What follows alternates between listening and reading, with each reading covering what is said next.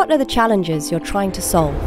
Perhaps you want to change the food system, or make your business carbon neutral, or maybe you just want to figure out how your school or local council can be more inclusive. Whatever it is, incremental changes probably won't be enough. There's a tension between improving what's working today and the need for radical transformation. So, how do we make radical change actually happen? This is where Three Horizons can help. In any conversations you have about changing the future, you'll probably notice three perspectives showing up. There's the voice of the manager who is responsible for the success of the current system and keeping things going as they are, the visionary who speaks for a radically different world, and the entrepreneur who is impatient with all the talk and just wants to put new ideas into action right now. As you'd expect, these three voices are often talking past each other they don't always realise that each is needed to create meaningful change. So we need a way to discuss the future that brings these three perspectives together in a constructive way, one that recognises the value of each and gives us shared language for working together. This is what Three Horizons is for. It's a simple framework to help guide conversations about the future towards meaningful action. Three Horizons is like a map it helps us work out where we are, where we want to be, and how to get there. It may not provide all the answers, but like a map, it gives us a sense of direction. It starts with two lines on a page. Along the bottom, there's time, beginning in the present and heading into the future. The other axis shows which pattern or system is dominant at any one time. Horizon 1 is business as usual. It's the way we do things today. If we are having a Three Horizons conversation, it's because we see that the current system is showing signs of strain and is no longer fit for purpose. Let's use an example. Say we're thinking about how we produce our food. Today, we have a highly industrialised food and farming system.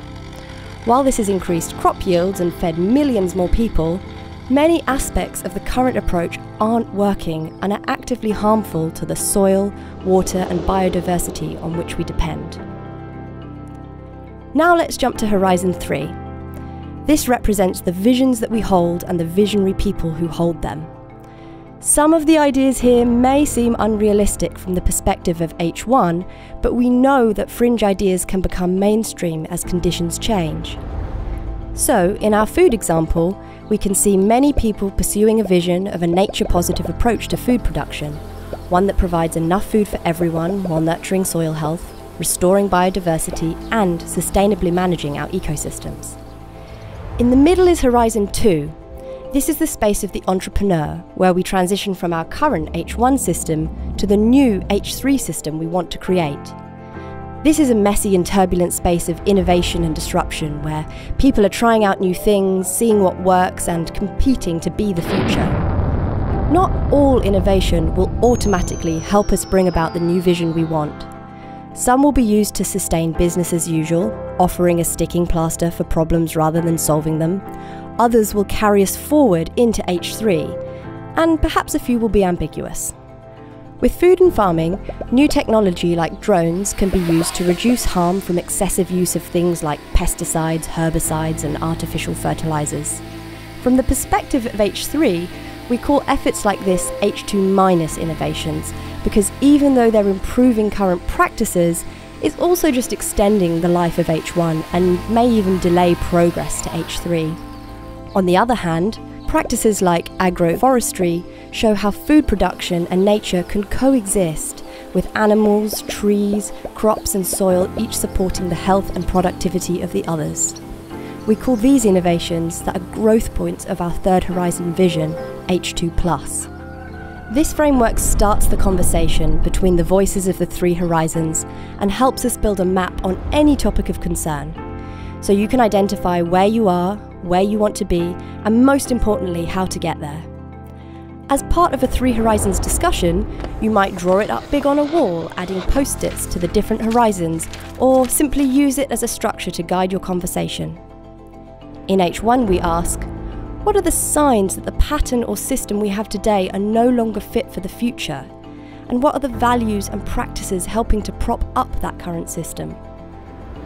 In H3, we ask what visions of the future are there? What values are we going to stand for? And how can we collaborate with others to make our vision a reality?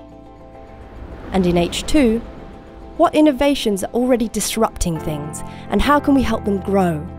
Which innovations do we need to make sure aren't just captured, H2 minus, and which ones will be growth points of the future system we want, H2 plus?